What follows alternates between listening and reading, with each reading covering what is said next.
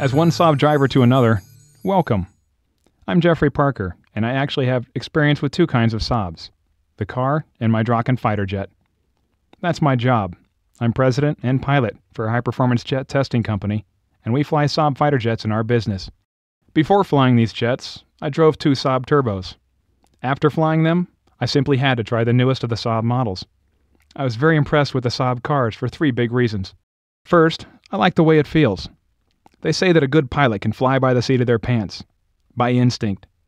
So it's no accident that when an aircraft company like Svenska Aeroplan AB or Saab started building cars, they engineered the center of gravity to run right through the driver's hips, where the human center of gravity is as well.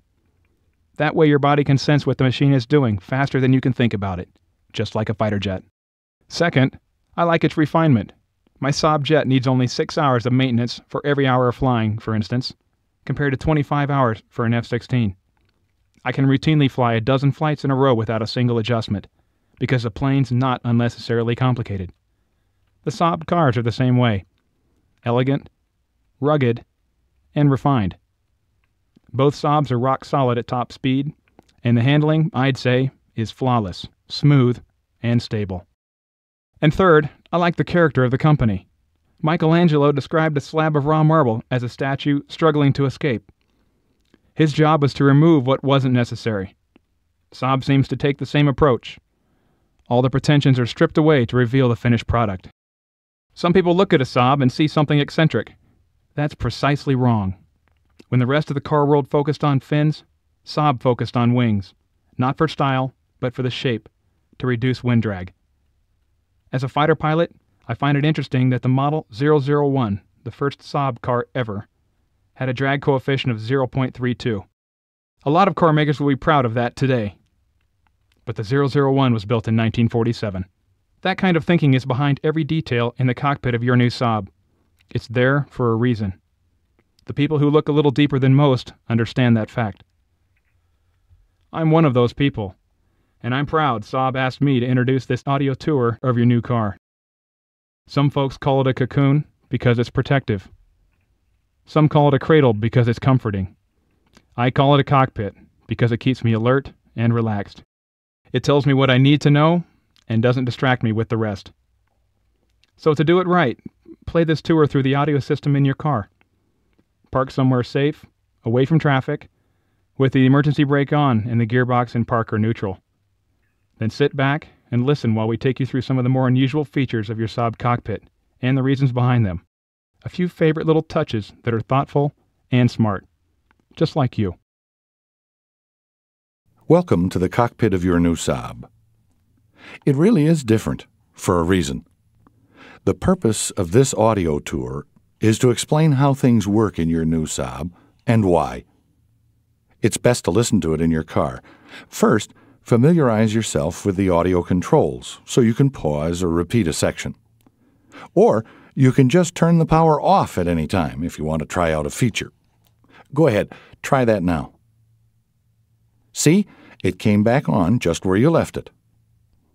Now, sit back and consider what sets your new Saab apart from other cars. Some differences you can't see.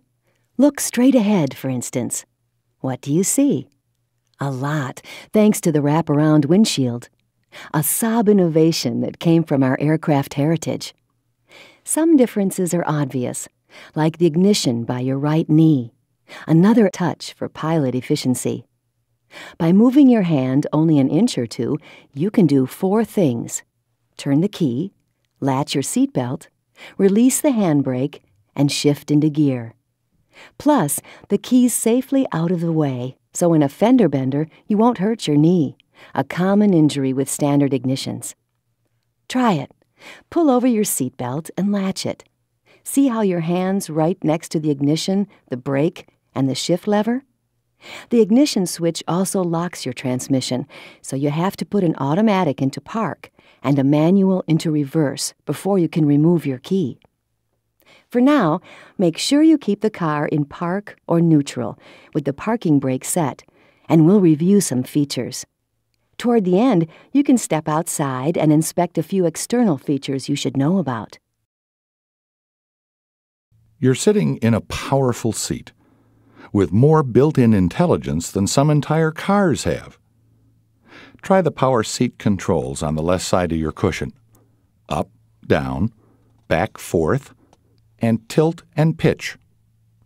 If you chose the optional memory feature, once they're adjusted, you can save the settings to memory for up to three different drivers. And that includes outside rear view mirror settings, too. If you live somewhere cold, maybe you chose the optional heated seats. Did you know Saab invented them? A classic innovation from the 60s, and our airplanes. Another option this year is the ventilated seats to wick moisture away and keep you cool and dry in the summer. Check your owner's manual for instructions. To adjust the outside mirrors, use the big round button just in front of the driver's side window. You don't have to look at the button to use it. Just use your fingertip to feel for the bumps at the 12, 3, 6, and 9 o'clock positions, and press directly on the bumps. You can't accidentally change the settings by pressing anywhere else.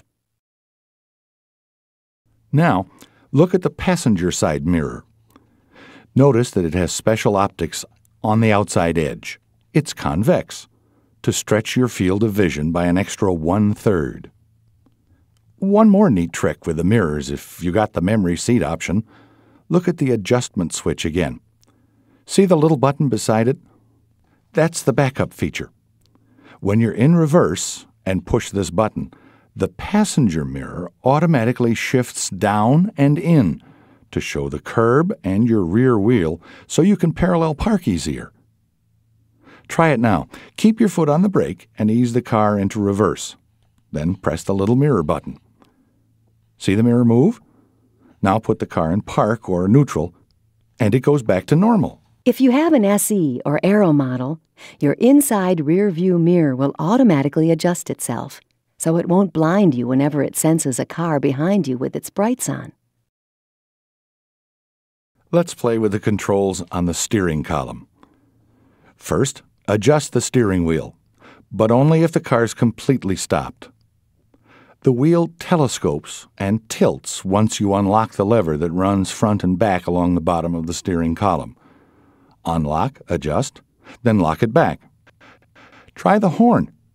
Press firmly on any corner of the center pad, not in the middle. That's the airbag. Turn signals are controlled by the left hand lever, and cruise controls are there too. Read the owner's manual to learn how they work. And keep in mind, the main trick is to remember that the same motion turns cruise control both off and on. Just look for the light in the instrument panel to see which mode you're in. The left lever controls the headlight dimmers, too. Just pull it toward you to toggle between high and low beams. Pulling it halfway and letting go before it clicks lets you quickly flash your beams just once. Now, try the windshield washer. It's on the right hand lever. It's different from other cars. You don't need to overdo it. Your Saab uses eight high pressure nozzles, six on the windshield and one on each headlight, that actually use less fluid than standard systems. So one quick squirt is all you need. It covers the whole area of the windshield and headlights, and a few swipes of the wipers gets it all clean. The small wipers on the headlights operate with the windshield washers every time, and they're great for removing bugs and dirty snow that can block the beams. By the way, Saab invented them. If you've purchased a 9-5 wagon, the rear window washer's controlled by the button at the end of the lever. It makes one complete swipe automatically when you back up with the wipers on. You can adjust it for intermittent swipes by controls on the same lever. Check your owner's manual for details.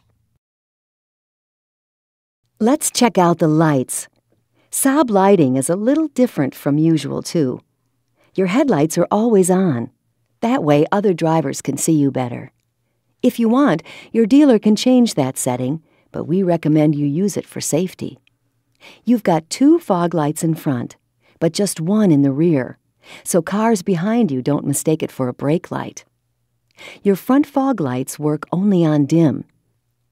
When you arrive where you're going, the Follow Me Home feature keeps your headlights on until you're safely inside. Check your owner's manual for instructions. Look up above you.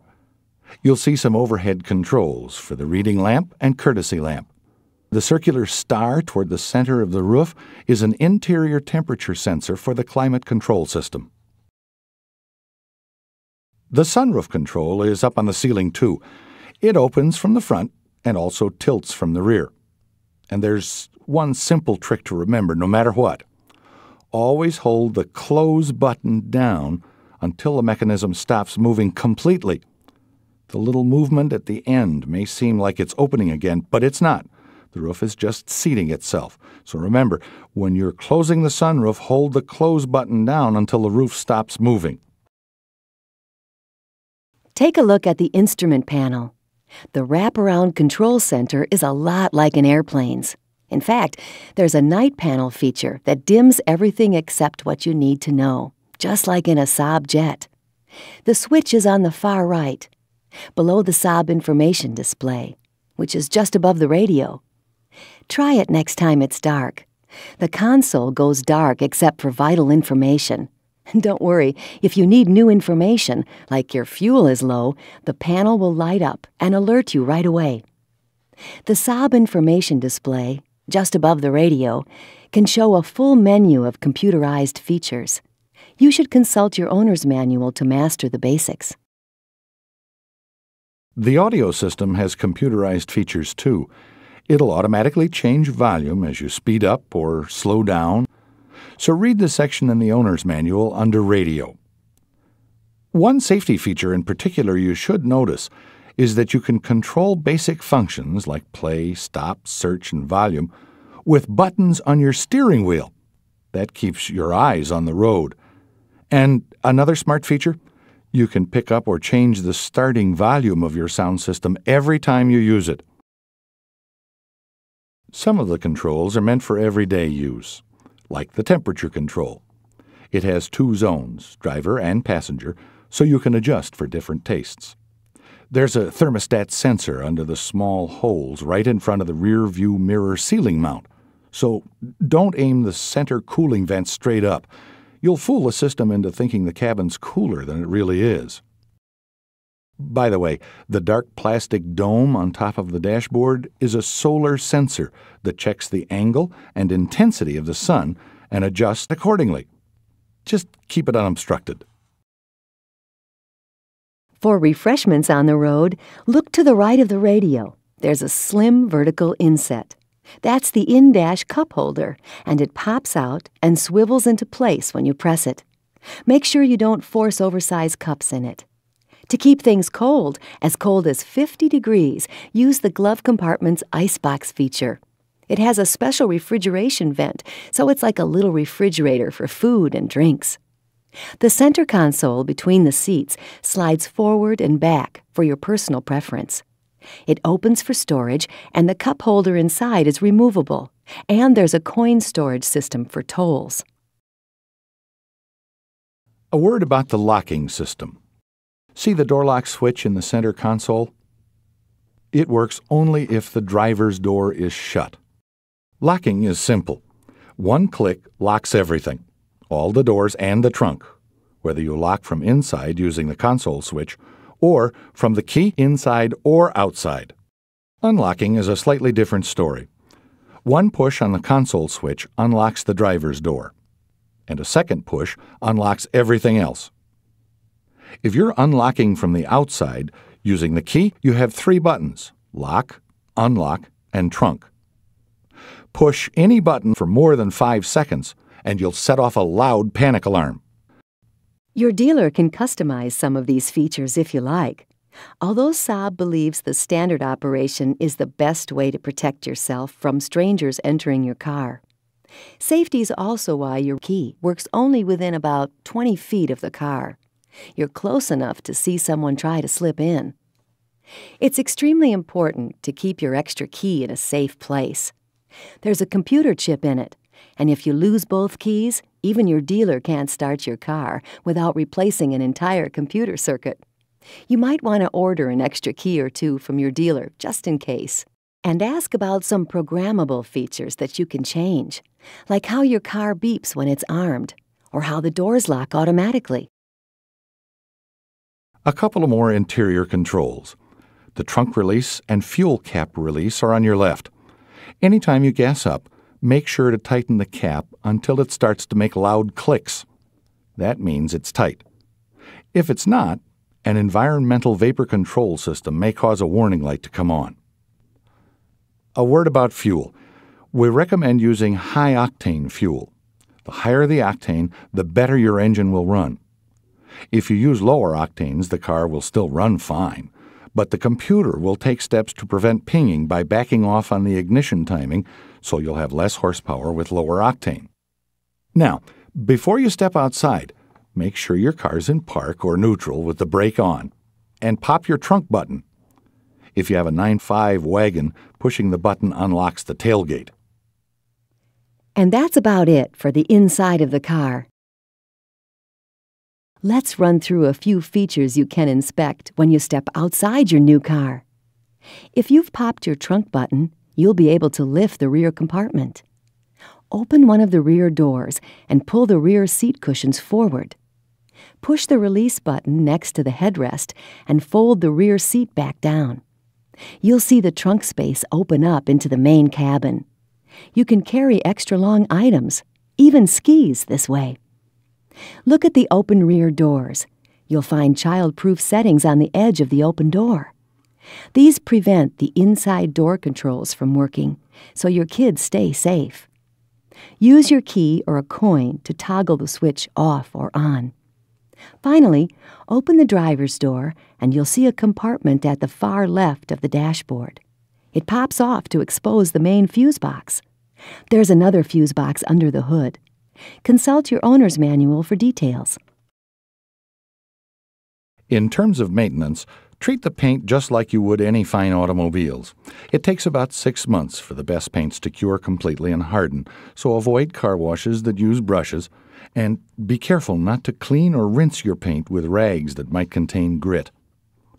And finally, if your car hasn't been rinsed off in a week or so, you might occasionally notice black powdery deposits from the brakes building up on your wheels after a week of continuous driving, especially on the front wheels. This is normal and comes from the pads being optimized using non asbestos materials. Rinse off the black powder every week or so. It should come off easily. If you let it stay longer, it gets harder to remove. A final word about safety. Talk to your dealer about child seat tethers to tie down any child seats to the proper anchor points. And read the manual about airbag safety.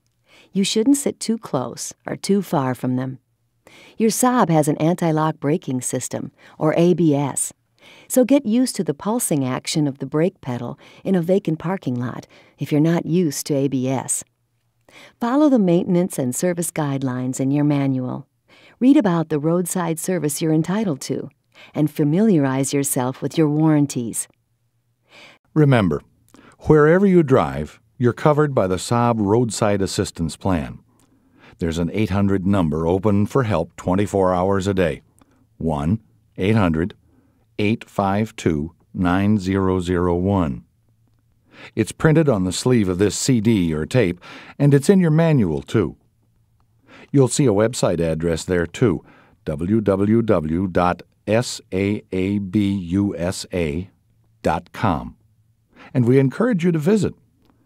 If you have any questions about your Saab, you can call the Saab Customer Assistance Center at 1 800 955 9007. And that's about it. Remember, every feature in your Saab has a logical purpose. This is a car whose sum total is made of countless intelligent decisions. At Saab, we believe that style is subservient to substance. And we've built a substantial car. Sure, it's a little different. So are you, probably, for the right reasons. Vive la différence! Buckle up, put it in gear, and enjoy.